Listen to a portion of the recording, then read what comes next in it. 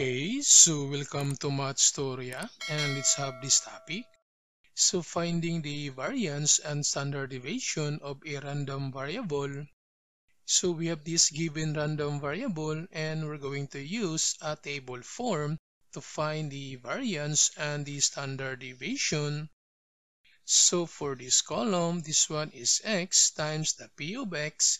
So we just need to multiply these two columns so we have 2 times 0.6, that's 1.2, and 4 times 0.1, that's 0.4, 6 times 0.2, that's 1.2, and 8 times 0.1, that's 0.8.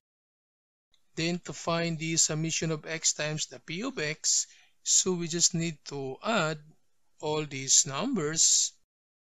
So we have 1.2, then plus 0.4 plus 1.2 plus 0.8 equals, so that's 3.6. So the summation of x times the p of x is 3.6. Then for this column, that's x to the power 2. So we just need to take the square of x. So the square of 2, that's 4. The square of 4, this one is 16. The square of 6, that's 36. And the square of 8, that's 64. Then for this column, that's x to the power 2 times the p of x. So we just need to multiply this p of x and x to the power 2. So this 0.6 times 4, so 0.6 times 4, that's 2.4. Then for this 0.1 times 16, this one is 1.6, 0.2 times 36, so 0.2 times 36, that's 7.2. Then this 0.1 times 64, that's 6.4. Then to find the summation of x to the power 2 times the p of x, so we just need to add all these numbers.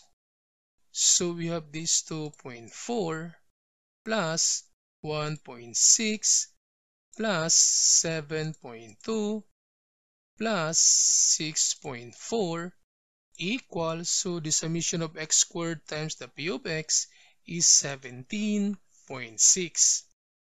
So to find now the variance using this formula, then substitute now the values. So for the summation of x squared times the p of x, that's 17.6 then minus the square of the summation of xp of x, so the square of this 3.6. So to find the variance, so we have this 17.6, then minus this 3.6 squared equals, so the variance is 4.64. So this is now the variance.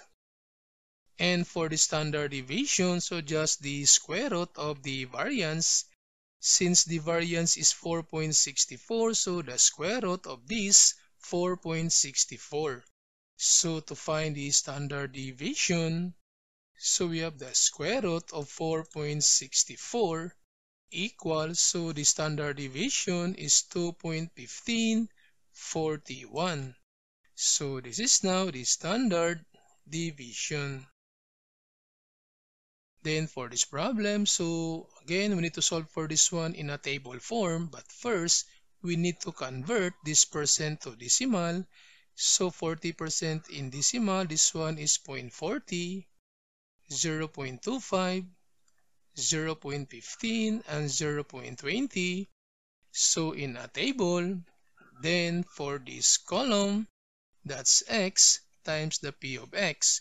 So multiply this x times the p of x. So we have 1 times 0.40. So that's 0.40.